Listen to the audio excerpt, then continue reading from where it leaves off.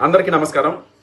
మనలో చాలామంది అవసరమైతే దేశం కోసం బార్డర్లో నిలబడి యుద్ధం చేస్తాం అని చెప్తుంటారు కదండి. ఇప్పుడు అవసరం వచ్చింది. యుద్ధం చేయాలి. కాకపోతే బార్డర్లో నిలబడి కాదు. ఇంట్లోనే కూర్చొని. ఇప్పుడు ఇంతకు మించిన దేశభక్తి లేదు.